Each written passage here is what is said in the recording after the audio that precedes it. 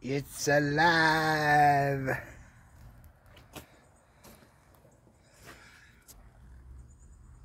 The toadster is alive. that may not be by the time I get done.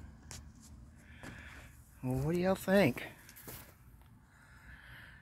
Thanks to Papa, Gene Tisdale, for the uh, advice and helping hand.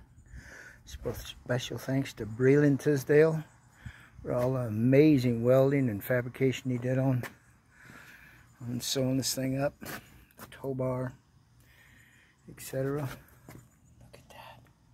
Honda never looked so good, baby.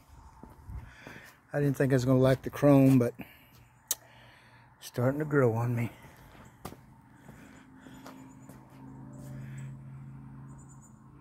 Check it out. All right.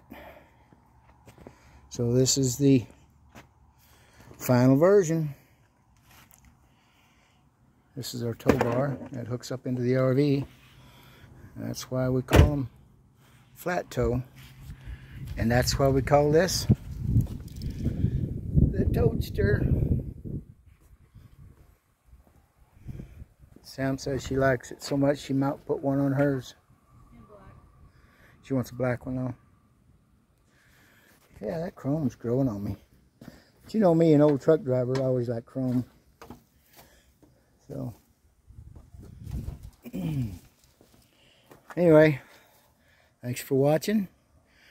Follow us to Hoover Dam, Las Vegas, Reno, and who knows where else our adventures will take us. Like, comment, subscribe. Thanks for watching.